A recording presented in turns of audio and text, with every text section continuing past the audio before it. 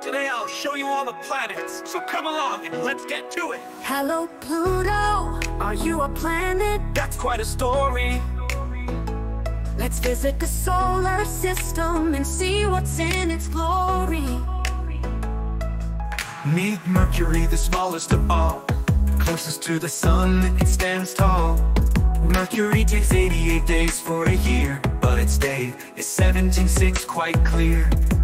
I have a question to raise. Shouldn't years take longer than days? Planets moving two ways. Well, that's not always the case. First they spin on their axis, slow and grand, then orbit the sun across the land. I turn slowly so my days are long, but in orbit I'm quick, so a year isn't wrong. Next is Venus, a goddess of love. It rises above my planet to behold. While others spin counterclockwise in space, Venus turns the other way, quite a unique case. Planet number three is our home. It is Earth, where we all roam. 70% of its surface is water so blue And Mars, the fourth planet, is red too Mars has two moons, Deimos and Phobos Mercury, Venus, Earth and Mars Compact balls of rocks and metals Rocky or terrestrial, they're not so subtle Where to next, Pluto? To the bigger planets, let's go One with rings and another with a spot That's Jupiter and Saturn, right on the dot Watch out for the rocky debris in the asteroid belt, floating with ease. Ancient debris from planet formation.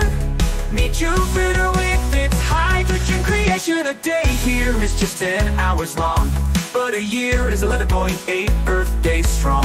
Saturn with its rings, a sight to see. Guess how many? Four sets, and you're right. Prettiest of all, Saturn shines bright with seven rings seen by Galileo's sight. 82 moons keep Saturn company. Nice to meet you both in this cosmic spree. Hey, is it getting cold? Yes, we're nearing the coldest planet, so bold. And light 13 in sight. Why do you move sideways, Uranus?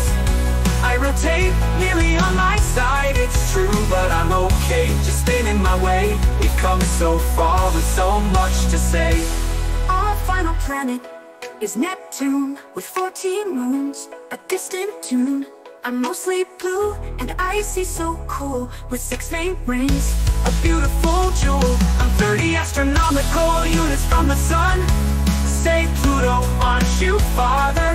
39 units, that's right Because I'm the farthest planet shining bright. I make this video for you to learn About the planets, it's your turn. Thanks for watching, it's been a delight. See you again for another learning flight